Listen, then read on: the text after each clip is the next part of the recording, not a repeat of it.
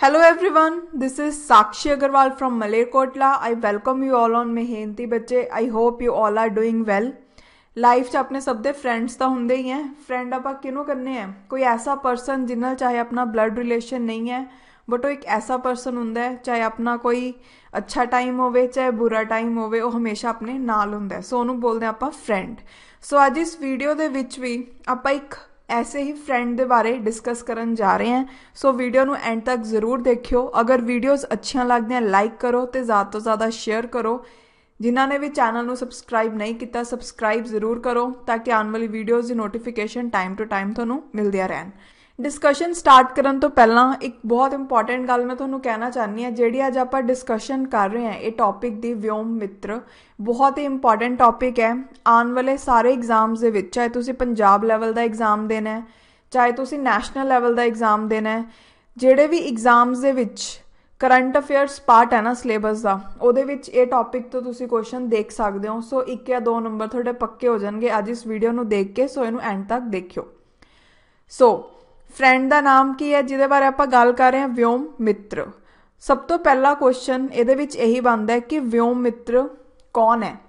ਸੋ ਵਿਯੋਮ ਮਿੱਤਰ first female half ਹਿਊਮਨੋਇਡ ਹੈ। ਦੇਖੋ, ਇਹਦੀ ਟਰਮ ਸਮਝੋ। ਬੇਸਿਕਲੀ ਇੱਥੇ ਤੁਹਾਨੂੰ ਤੁਸੀਂ ਦੇਖ ਸਕਦੇ ਹੋ ਵਿਯੋਮ ਮਿੱਤਰ ਨੂੰ। ਇੱਕ ਹੈ ਲੇਡੀ ਰੋਬੋਟ ਤੇ ਇਹ ਫਰਸਟ ਫੀਮੇਲ ਹਾਫ ਹਿਊਮਨੋਇਡ ਹੈ। ਹਿਊਮਨੋਇਡ ਮੀਨਸ ਕੀ ਹੈ? ਕਿ ਹਿਊਮਨ ਦੀ ਤਰ੍ਹਾਂ ਦਿਖਣ ਵਾਲੀ ਫੀਮੇਲ ਹਾਫ ਮੀਨਸ ਇਹਦਾ ਸਿਰਫ ਅਪਰ ਪਾਰਟ ਹੈ, ਨੀਚੇ ਲੈਗਸ ਵਾਲਾ ਪਾਰਟ ਨਹੀਂ ਹੈ, ਇਸ ਲਈ ਹਾਫ ਹਿਊਮਨੋਇਡ ਹੈ। ਓਕੇ ਹੁਣ ਹੋਰ ਪੜ੍ਹਦੇ ਹਾਂ। ਸਭ ਤੋਂ ਪਹਿਲਾਂ ਇੱਥੇ ਤੁਸੀਂ ਟਰਮ ਦੇਖੋ ਵਿਯੋਮ ਮਿੱਤਰ ਵਿਯੋਮ ਮਿੱਤਰ ਨੂੰ ਬੇਸਿਕਲੀ ਸੰਸਕ੍ਰਿਤ ਦੇ ਦੋ ਵਰਡਸ ਤੋਂ ਬਣਾਇਆ ਗਿਆ ਹੈ। ਪੇਪਰ 'ਚ ਪੁੱਛਿਆ ਜਾ ਸਕਦਾ ਹੈ ਕਿ ਕਿਹੜੀ ਲੈਂਗੁਏਜ ਤੋਂ ਵਿਯੋਮ ਮਿੱਤਰ ਵਰਡ ਨੂੰ ਬਣਾਇਆ ਹੋਇਆ ਹੈ, ਸੰਸਕ੍ਰਿਤ ਤੋਂ। ਅਗਰ ਆਪਾਂ ਵਿਯੋਮ ਵਰਡ ਦੇਖੀਏ ਸੰਸਕ੍ਰਿਤ 'ਚ ਵਿਯੋਮ ਦਾ ਨਾਮ ਮਤਲਬ ਕੀ ਹੁੰਦਾ ਸੌਰੀ ਸਪੇਸ ਤੇ ਮਿੱਤਰ ਮੀਨਸ ਕੀ ਹੁੰਦਾ ਫਰੈਂਡ ਸੋ ਦੋ ਵਰਡਸ ਤੋਂ ਵਿਯੋਮ ਮਿੱਤਰ ਬਣਿਆ ਹੋਇਆ ਸੰਸਕ੍ਰਿਤ ਦੇ ਓਕੇ ਸੈਕੰਡ ਕੁਐਸਚਨ ਕੀ ਹੈ ਵਿਯੋਮ ਮਿੱਤਰ ਹੈ ਕਿ ਕਈ ਵਾਰ ਇਹ ਵੀ ਪੇਪਰ 'ਚ ਪੁੱਛ ਲੈਂਦੇ ਆ ਕਿ ਵਿਯੋਮ ਮਿੱਤਰ ਟਰਮ ਨਿਊਜ਼ 'ਚ ਸੀ ਰੀਸੈਂਟਲੀ ਕੀ ਹੈ ਇਹ ਫਰਸਟ ਫੀਮੇਲ ਹਾਫ ਹਿਊਮਨੋਇਡ ਹੈ ਜਾਂ ਲੇਡੀ ਰੋਬੋਟ ਹੈ, ਉੱਥੇ ਜਿਵੇਂ ਮਰਜ਼ੀ ਲਿਖਿਆ ਆ ਸਕਦਾ ਹੈ ਤੁਸੀਂ ਬੋਲ ਸਕਦੇ ਹੋ। ਇਹਨੂੰ ਡਿਵੈਲਪ ਕਿਨੇ ਕੀਤਾ ਹੈ? ਡਿਵੈਲਪ ਕੀਤਾ ਹੈ ਇਸਰੋ ਨੇ। ਇਸਰੋ ਦੀ ਫੁੱਲ ਫਾਰਮ ਕਮੈਂਟਸ ਦੇ ਵਿੱਚ ਜ਼ਰੂਰ ਦੱਸਿਓ। ਤੇ ਡਿਵੈਲਪ ਕਿੱਥੇ ਕੀਤਾ ਗਿਆ ਹੈ? ਇਹ ਵੀ ਕੁਐਸਚਨ ਬਣ ਸਕਦਾ ਹੈ। Robotics lab at VSSC Thiruvananthapuram okay so ਇਹ ਚੀਜ਼ਾਂ ਯਾਦ ਰੱਖਿਓ। ਹੁਣ ਥੋੜਾ ਹੋਰ ਡਿਟੇਲ 'ਚ ਗੱਲ ਕਰਦੇ ਹਾਂ। ਦੇਖੋ ਵਿਯੋਮ ਮਿੱਤਰ ਨੂੰ ਬਣਾਉਣ ਦੀ ਜ਼ਰੂਰਤ ਕਿਉਂ ਪਈ? ਬਿਕੋਜ਼ ਆਪਾਂ ਨੂੰ ਪਤਾ ਹੈ 2022 ਦੇ ਵਿੱਚ ਇਸਰੋ ਨੇ ਗਗਨਯਾਨ ਮਿਸ਼ਨ, ਜੋ ਕਿ ਇੰਡੀਆ ਦਾ ਫਰਸਟ ਮੈਨ ਮਿਸ਼ਨ ਹੈ, ਉਹਨੂੰ ਲਾਂਚ ਕਰਨਾ ਹੈ। ਤਾਂ ਇਸਰੋ ਵੱਲੋਂ ਇਹ ਪੂਰੀ ਕੋਸ਼ਿਸ਼ ਕੀਤੀ ਜਾ ਰਹੀ ਹੈ ਕਿ ਕੋਈ ਵੀ ਮਿਸਟੇਕ ਨਾ ਹੋਏ ਤੇ ਜਿਹੜਾ ਉਹ ਮਿਸ਼ਨ ਉਹ ਸਕਸੈਸਫੁਲ ਰਹੇ।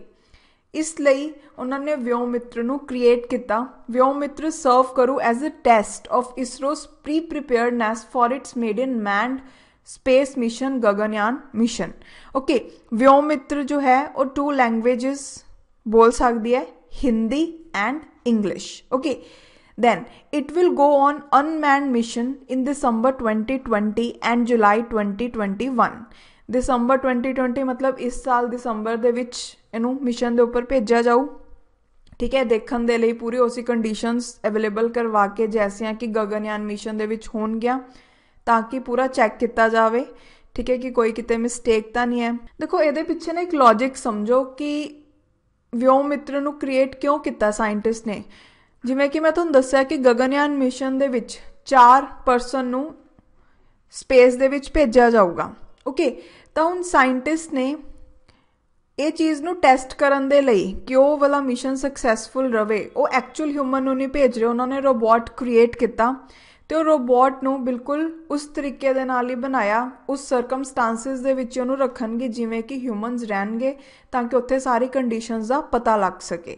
ਓਕੇ ਸੋ ਹੁਣ ਕੁਝ ਹੋਰ ਡਿਟੇਲਸ ਪੜ੍ਹਦੇ ਆ ਦੇ ਬਾਰੇ। Vyomitra equipped with a head two arms and a torso is built to mimic crew activity inside the crew module of Gaganyaan ਜਿਵੇਂ ਕਿ ਕ੍ਰਿਊ ਮੈਂਬਰ ਐਕਟ ਕਰੂਗਾ ਗਗਨਯਾਨ ਦੇ ਅੰਦਰ ਉਸੇ ਤਰੀਕੇ ਦੇ ਨਾਲ ਵਿਓਮਿਤਰ ਐਕਟ ਕਰੂ। Okay then attaining launch and orbital postures responding to environment ਕਿ ਉੱਥੇ এনवायरमेंट ਕੈਸਾ ਉਹਦੀ ਪੂਰੀ ਜਾਣਕਾਰੀ ਦੇਣੀ ਸਾਇੰਟਿਸਟ ਨੂੰ।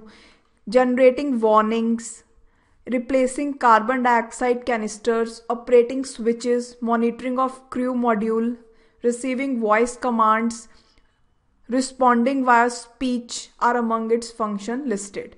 ਹੁਣ ਇਹਦੇ ਕੀ ਕੀ ਫੰਕਸ਼ਨਸ ਹੈ, ਕੋਈ ਵੀ ਕਮਾਂਡ ਅਗਰ ਸਾਇੰਟਿਸਟ ਰੋਬੋਟ ਨੂੰ ਭੇਜਣਾ ਤਾਂ ਉਵੇਂ ਰਿਸਪੌਂਡ ਕਰੂ, ਜਿਵੇਂ ਕਿ ਕ੍ਰਿਊ ਮੈਂਬਰ ਰਿਸਪੌਂਡ ਕਰੂ, ਜਦੋਂ ਉਹਨੂੰ ਗਗਨਯਾਨ ਮਿਸ਼ਨ 'ਚ ਭੇਜਿਆ ਜਾਊ ਨੈਕਸਟ ਹੈ it have a human like face with lips synchronized for movement to mimic speech ਇਹਦਾ ਹਿਊਮਨ ਲਾਈਕ ਫੇਸ ਹੈ। ਤੁਸੀਂ ਇੱਥੇ ਦੇਖ ਸਕਦੇ ਹੋ ਹਿਊਮਨ ਦੀ ਤਰ੍ਹਾਂ ਫੇਸ ਹੈ ਤੇ ਲਿਪਸ ਵੀ ਉਵੇਂ ਬਣਾਏ ਗਏ ਆ ਕਿ ਜਿਵੇਂ ਆਪਾਂ ਬੋਲਦੇ ਹਾਂ, ਜਦੋਂ ਆਪਾਂ ਬੋਲਦੇ ਹਾਂ, ਆਪਣੇ ਲਿਪਸ ਦੀ ਮੂਵਮੈਂਟ ਹੁੰਦੀ ਹੈ, ਉਸੇ ਤਰੀਕੇ ਨਾਲ ਜਦੋਂ ਵਿਓਮਿਤਰ ਬੋਲੂ ਤਾਂ ਉਹਦੇ ਲਿਪਸ ਦੀ ਮੂਵਮੈਂਟ ਹੁੰਦੀ ਹੈ।